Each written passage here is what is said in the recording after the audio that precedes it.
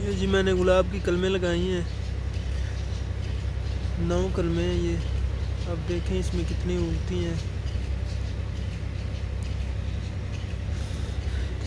और ये मेरा बड़ा गुलाब का पौधा है।